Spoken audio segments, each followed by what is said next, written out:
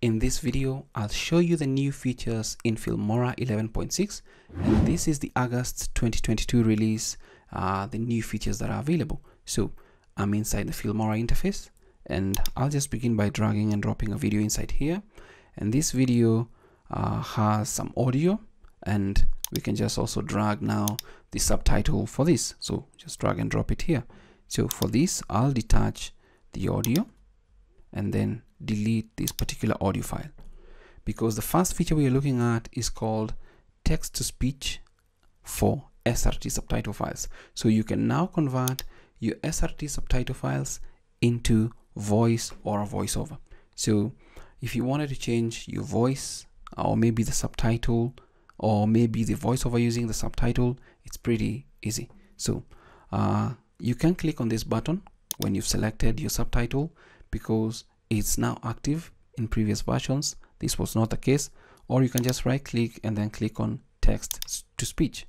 And once we do that uh, the interface is going to load uh, and this is where you set the parameters and the selections for what you want. So uh, you can set the language English US and then you can choose a name Mark Bob Lucy whoever is available for you to use. If you wanted a lady uh, you can choose uh, whatever you want and then set the parameter settings and then you can just click OK once you're satisfied. This is going to start uploading this particular clip and uh, this is actually going to start processing your transcription into voice. So we just give it a couple of seconds and we now have some audio files here. So close this. Now the only thing i'm not so sure is why it's giving us two uh three audio files on different layers but let's play and listen with the recent update on the YouTube interface, it's now easier than before to download YouTube transcripts.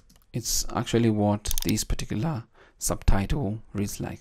With the recent update on the YouTube interface, it's now easier than before to download YouTube transcripts. Okay, not so sure why it has to go to different layers, but you can now convert your SRT subtitle files into speech or voiceover in Filmora 11.6.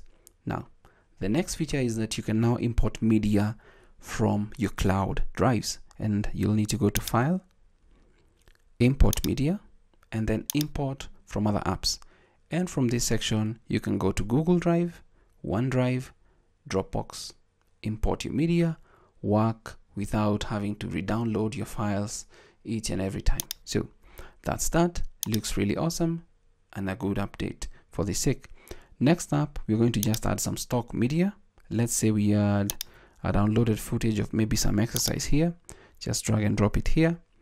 And the next new feature we're going to add is a timer. So if we go to effects, you may see the timers on your side here, uh, somewhere here.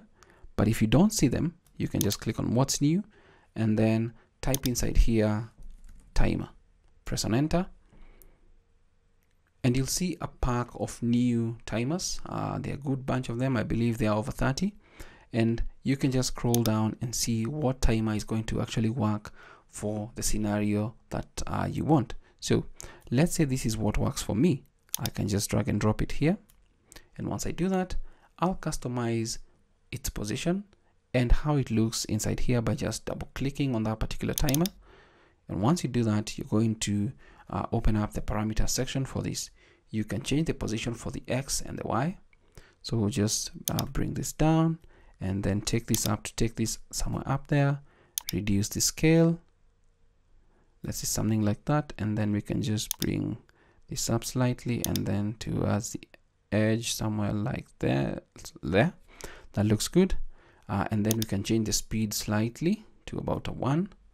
And then we can just move down slightly. And you can see the number uh, in terms of second it's defaulted at 10 seconds but you can adjust it to up to 60 so if your clip or maybe this particular exercise is for 60 seconds you can have this timer running. And timers are good to show your viewers or your audience that this is almost done. And this since this is a countdown it shows your viewers it's almost done. You can change the text position the text scale but most importantly you can also customize the theme uh, for this. So you can change the text color to whatever you want the process ring uh, the uh, process ring background color the radio circle color. So you can change this to maybe a red or maybe something a little bit brighter maybe like this. I think that looks good. And then you can change the color for this uh, to whatever you feel will work best for you. So when you play this that's what it's going to look like. Looks really good so those are timers. Just click ok. And you can just uh, add the timers and you can see some overlays here that you can still add uh, a recording overlay etc. So you can it's up to you to use your imagination to see how you're actually going to use these different parameters. Finally we now have RGB color curves uh, in Filmora. And we can just come to stock media and let's assume we just look for any form of media that we want here. Let's say uh, actually let's just go with this so we've got this uh, clip of this lady doing some exercises but let's assume we wanted to change maybe uh, we think that we might need to adjust some uh, colors here you can just right click to open the color correction interface or press on Control Shift C. Click on that. And once you do that, uh, we're going to come into the uh, dialog box for advanced color correction. We've got presets, but what we're interested in is the adjust option. You can click on that and slightly here, if this is not checked, you'll see there's a new option called curve. You can check on that and then scroll down slightly and you see a couple of op options here.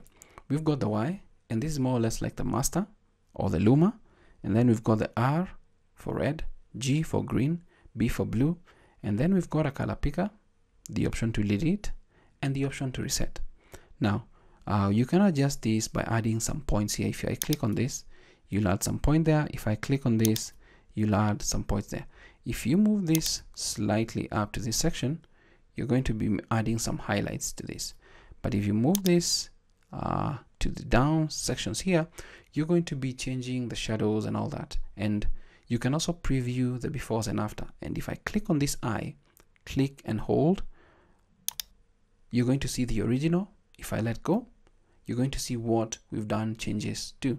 So let's delete this. Let's also actually reset this. This is the original. Let's go to the R. When you move this particular line or the curve to uh, this side, if I click on this and move this then you're going to be making this particular uh, selection red if you bring it down it's going to be more or less like a bluish color of sorts let's reset that let's go to the greens if you move it to this side gets your footage uh, to be more green. If you bring it to this side looks more or less like a purple color. Let's reset. Then if you click on blue and uh, bring it up it's going to give you a blue uh, hue or whatever and then bring it down more or less like a yellowish color. So it's up to you to see how you can actually use this. So we can maybe do some slight adjustments here to increase maybe the contrast and the brightness and that's why the RGB uh, color curves are being used. Maybe add something else here.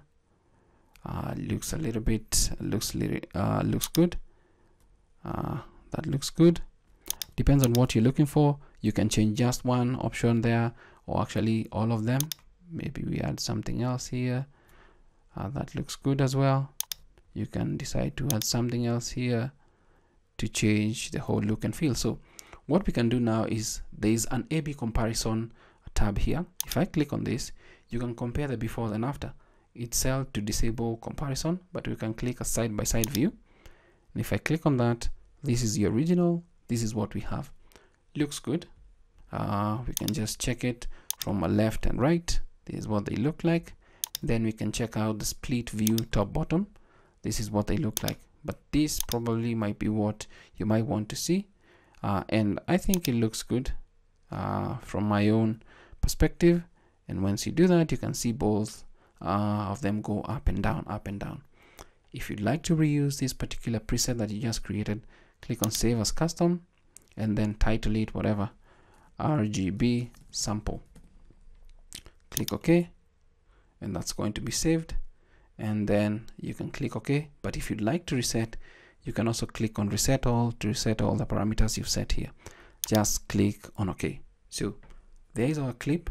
That's how it looks like after the color correction using RGB color curves and I believe that's the end of this video because we've looked at the four new features in Filmora 11.6, the August 2022 update, where we have support for text to speech for SRT subtitles.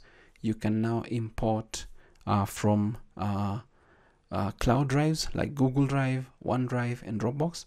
And then we have new timers to spice up your videos, show people how long a video is going to be.